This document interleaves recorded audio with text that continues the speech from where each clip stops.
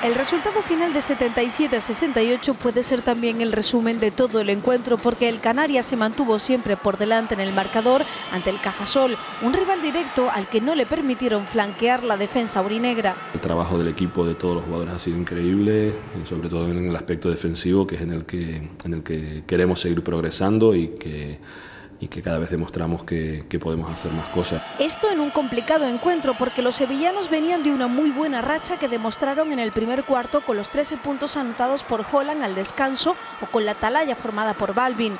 A pesar de ellos, los aurinegros supieron frenarles. Hemos cogido una renta y, en casa, bueno, eh, con una renta de 8-10 puntos nos sentimos eh, muy, muy cómodos y creo que el equipo en general ha hecho un partidazo, ¿no? El equipo en general y él en particular, un trabajo que hasta el propio Aito García Reneses, entrenador rival, supo reconocer. Que valorar pues, el resto de cosas positivas de Canarias, pues como por ejemplo Uriz, que ha estado impresionante en la dirección del equipo y para rematar pues es capaz de meter 5 de 7 triples. ¿no? Con ocho partidos ganados, lejos queda ya la parte baja de la tabla. La próxima cita, otro reto, será contra el Valencia.